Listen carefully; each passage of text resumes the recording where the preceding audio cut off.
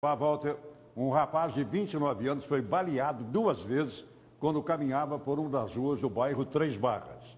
As informações com o repórter Oliveira Júnior. A tentativa de homicídio aconteceu nesta madrugada no bairro Três Barras.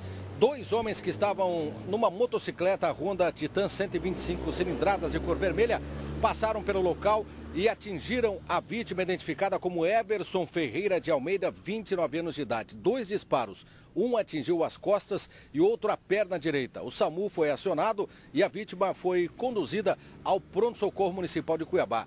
Testemunhas apenas conseguiram identificar a motocicleta, não tem informações da placa e nem da identificação positiva dos autores desta tentativa de homicídio, que vai dificultar o trabalho das investigações. Com imagens de Valdeir Moraes, Oliveira Júnior para o Cadeia Neles.